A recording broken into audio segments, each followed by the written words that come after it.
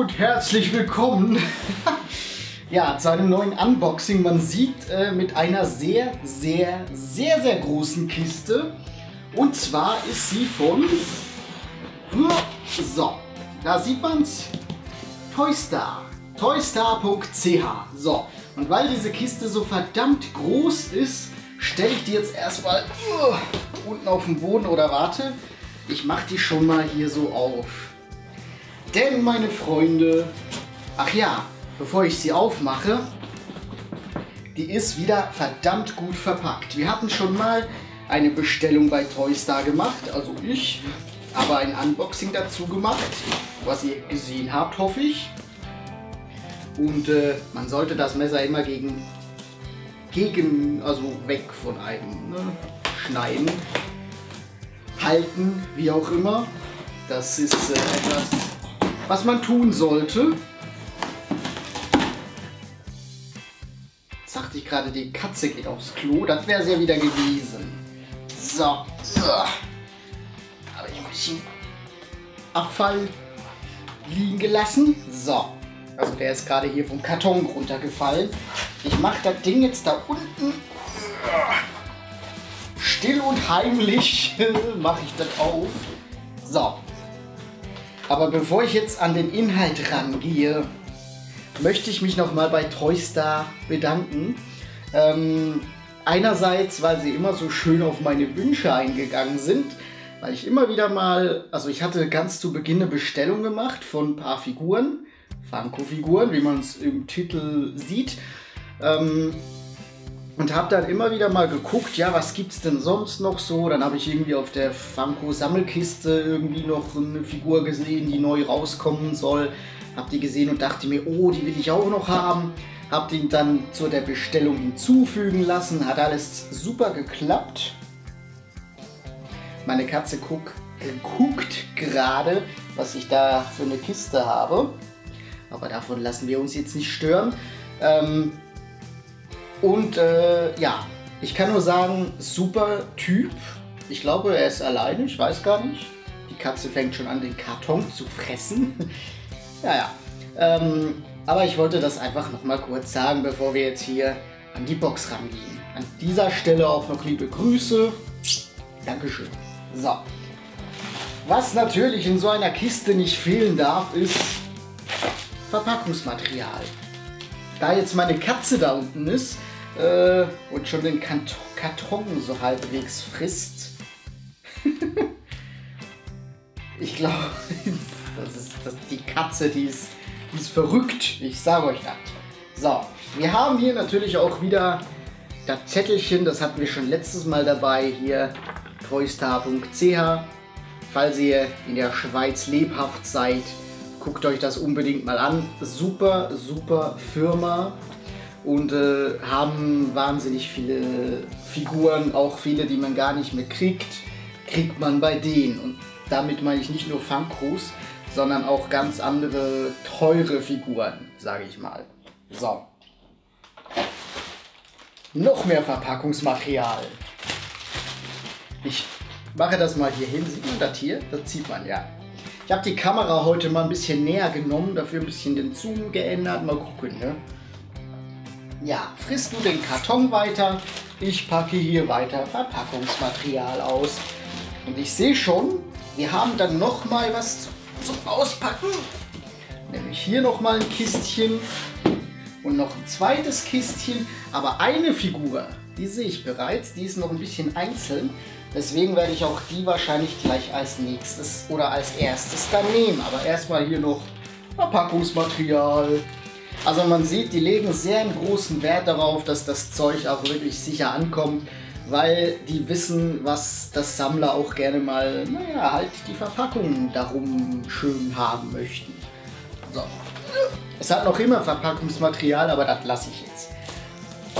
So, die erste Figur ist in meinen Händen und wie man sieht, auch die ist nochmal schick verpackt. Also es kann niemand sagen, das wurde nicht gut verpackt. So.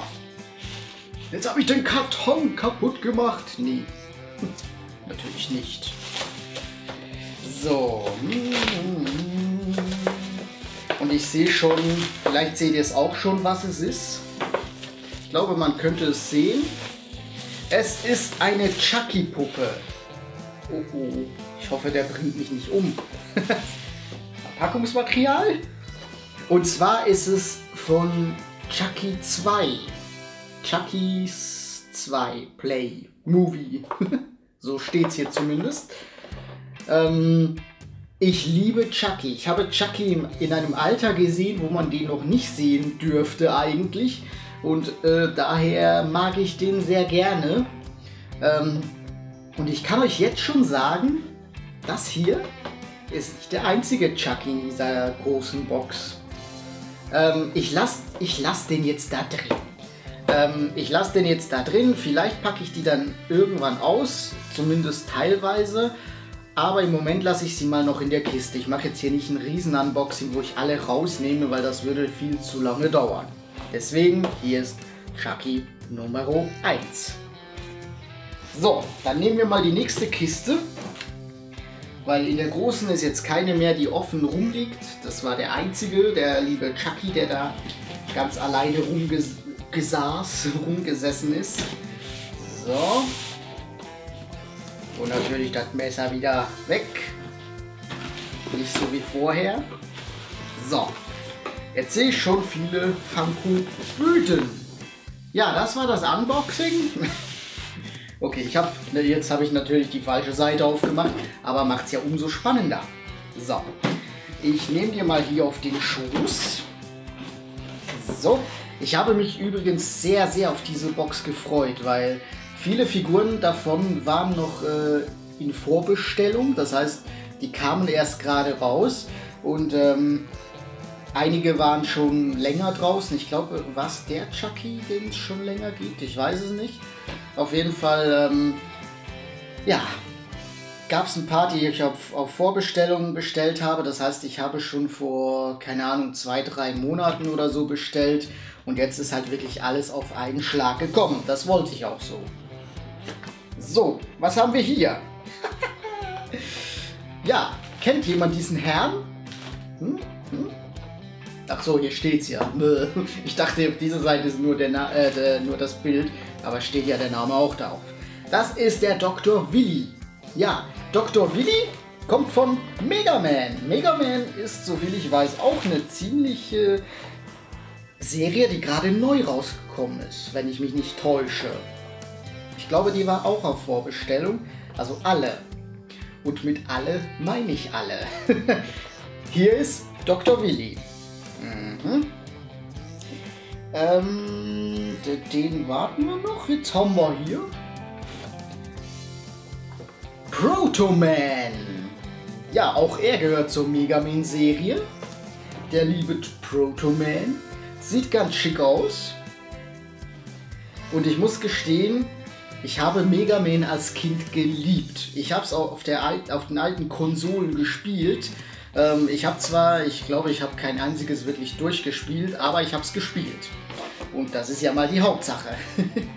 nee, ich, ich, ich liebe Mega Man. Ich habe mir auch schon überlegt, ob ich hier diese Neuauflage mal besorgen soll. Mal gucken. So. Okay. Den packen wir mal noch auf die Seite. Und wir haben hier einen roten äh, Proto-Man. Und äh, wie man hier unschwer erkennen kann, ich hoffe man sieht es, haben wir da hinten auch noch was anderes Rotes. Und das kommt jetzt. Und ich sage nur, der kommt im Rush. ja, hier haben wir nämlich Rush. Das Mega Man Roboter Hündchen. Ich weiß ehrlich gesagt nicht mehr genau, äh, wer jetzt hier böse, lieb ist, wer was gemacht hat. Ich glaube, die sind alle lieb, oder? Ich weiß es gar nicht mehr. Das ist so lange her. Auf jeden Fall, hier haben wir das Hundi. So, so. Wenn ich so weitermache, sieht man mich bald nicht mehr. Vielleicht auch besser so. so, dann haben wir ne, vier Mega Man-Figuren gibt's. Jetzt hier hinten auf der Packung sind vier aufgelistet. Und äh, was wäre die Mega Man-Kollektion ohne Mega Man? Natürlich durfte auch der Mega Man selbst nicht fehlen. Ja, ich finde es sehr, sehr geil.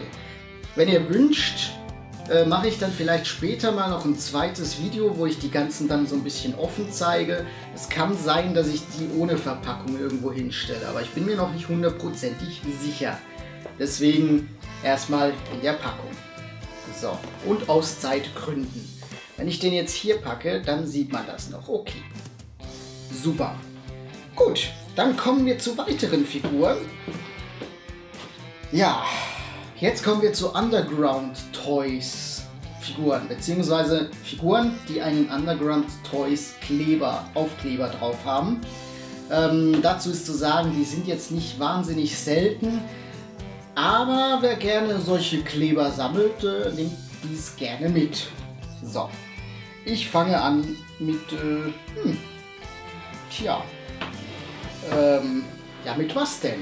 Ich drehe die mal um, denn das sind zweimal gewisse Herren, die wir heute schon gesehen haben. ich fange mal an mit, warte mal, ja, mit Chucky 2. Chucky 2, er steht ja schon da, aber er hat auch noch einen noch böseren Zwilling. Und zwar den blutverschmierten Chucky. Und den fand ich so geil, den musste ich unbedingt haben. Das krasse ist, das fällt mir jetzt gerade auf, die haben sogar dieselbe Nummer. Krass. Ist mir so gar nicht aufgefallen. Aber ich wollte unbedingt, ich wollte unbedingt beide haben. Ich fand das so geil hier mit dem blutverschmierten Chucky. Den musste ich einfach haben. So. Jetzt äh, haben wir hier noch eine Figur drin. Die ist erstmal leer, also die Kiste. Die ist weg. Und jetzt haben wir noch Chucky Nummer 3. Und der sieht ein bisschen anders aus als die anderen zwei. Kann natürlich daran liegen, dass es einerseits ein Film ist von Chucky, wo halt ein bisschen später rausgekommen ist. Ein Film, den ich auch schon öfters gesehen habe, nämlich Chucky und seine Braut. Ein sehr cooler Film, gibt eine geile Szene ähm, hier mit, äh, ja, nimm doch ein Kondom und Chucky dann, guck mich an, ich bin aus Plastik. Fand ich sehr cool. Ähm, ja, hier ist Chucky Nummer 3. Auch sehr cool. Man sieht hier, das Gesicht sieht schon ein bisschen mehr gedamaged aus. Und äh, ich finde es cool. Sehr geil. Sehr, sehr geil. So. Ja, jetzt haben wir hier 2, 4, 6, 7 Figuren. Könnte man das noch toppen? Natürlich. Denn wir haben ja noch eine Kiste. Die hätten wir fast vergessen. Nee, hätten wir nicht. So, jetzt muss ich gucken. Dieses Mal mache ich oben auf. Und jetzt, meine Freunde, kommt der Grund, warum ich eigentlich überhaupt angefangen habe zu bestellen. Weil jetzt kommen die Figuren, oder ich glaube, es sind alles davon. Nee, nicht ganz, aber fast alle sind vom selben vom selben Film. Ähm, ja. Und das ist der Grund, warum ich überhaupt angefangen habe zu bestellen. Das waren die ersten, die ich bestellt habe. Dann habe ich irgendwann gesehen, oh, es hat noch Chucky-Figuren. Dann habe ich mir noch Chucky-Figuren ge geholt. Dann sah ich plötzlich irgendwie im Funko Sammelkiste, oh, es kommen Mega Man-Figuren raus. Hm, die sind auch schon da. Ja, aber das hier war der Ursprung. Aber jetzt fangen wir erstmal mit einer Figur an, die jetzt noch nicht zu dem Film gehört. Ich versuche den hier irgendwie rauszuholen. Und zwar ist das der Edward mit den Scherenhänden. Finde ich auch ein sehr cooler Film, mag ich wirklich sehr. Und als ich den gesehen habe, musste ich ihn einfach auch bestellen. Hier sehen wir ihn, Edward mit den Scherenhänden. Auch ein super Film, den ich sehr, sehr mag. So, jetzt muss ich langsam gucken, wie ich das hier mache. Wenn ich den hier jetzt da hochstelle, dann sieht man den fast nicht mehr. Okay, dasselbe auch da drüben. Ja gut, dann müssen wir die halt hier irgendwo reinpflanzen. Ich mache jetzt erstmal den hier hin und irgendwann werdet ihr mich nicht mehr sehen. Denn jetzt kommen noch zwei, vier, fünf Figuren.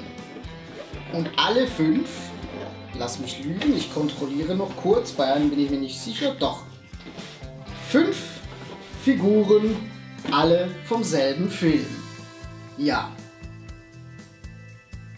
Wenn ich die erste zeige, werdet ihr wissen, was.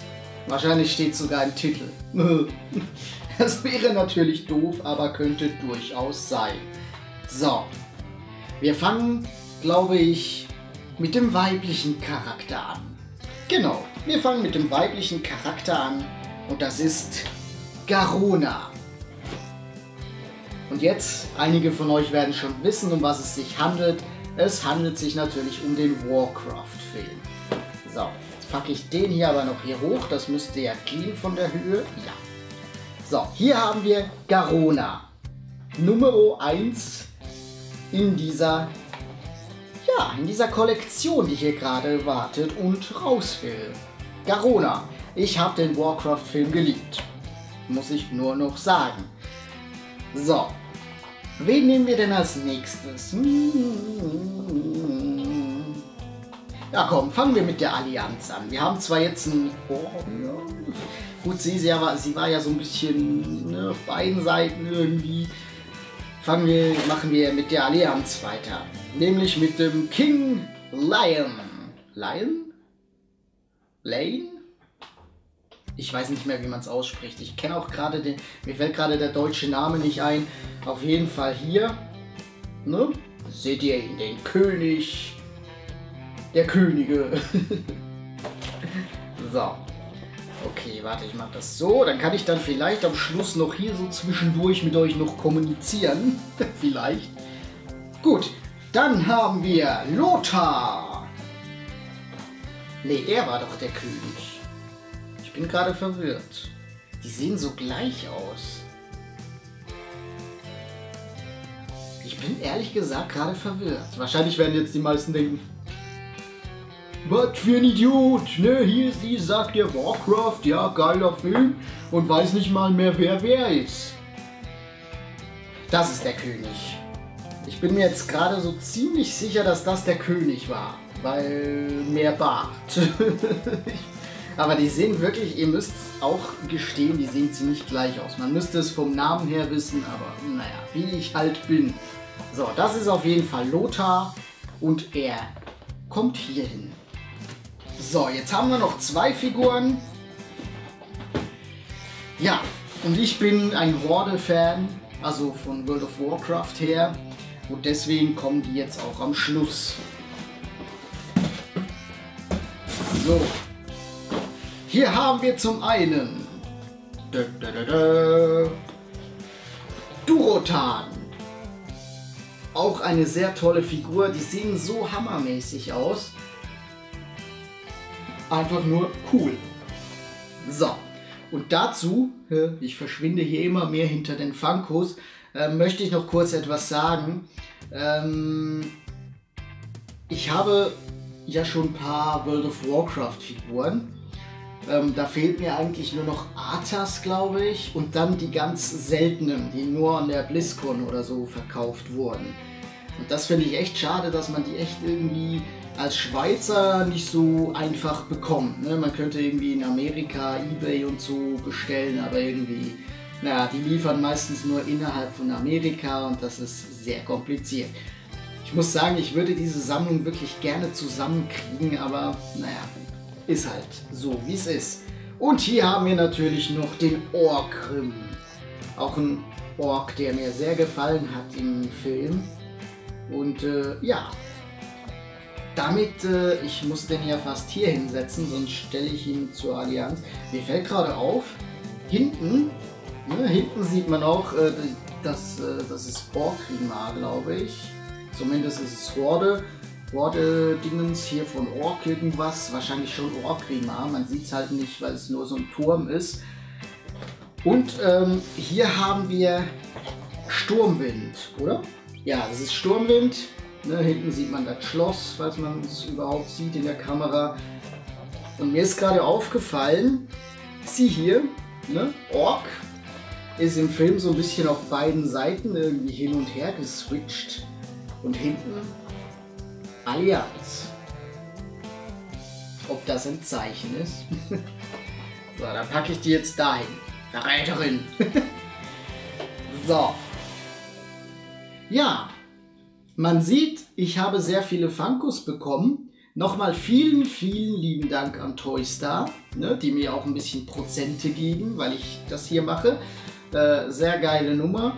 Ähm, ich hoffe, es hat euch gefallen. Ich hoffe, ihr könnt äh, jetzt mit ruhigem Gewissen zu Bett gehen und wisst jetzt, ja, der Achilles, der hat jetzt wieder ein paar Funkos mehr und wieder ein bisschen weniger Platz und so.